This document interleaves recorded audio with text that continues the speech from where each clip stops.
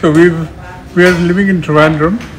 We have taken the service of Handy Squad and to have our house clean and we wanted it to be well clean all over the places.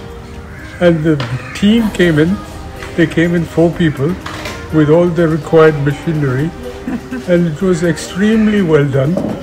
My wife enjoyed it even more because it was they spent so much attention attention to detail.